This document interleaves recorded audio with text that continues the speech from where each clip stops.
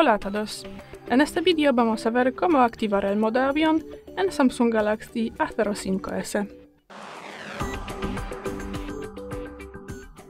Existen dos maneras para activarlo. La primera es desde los ajustes y luego tenemos que entrar en la pestaña llamada conexiones y desde aquí podemos activarlo en un clic y también desactivarlo.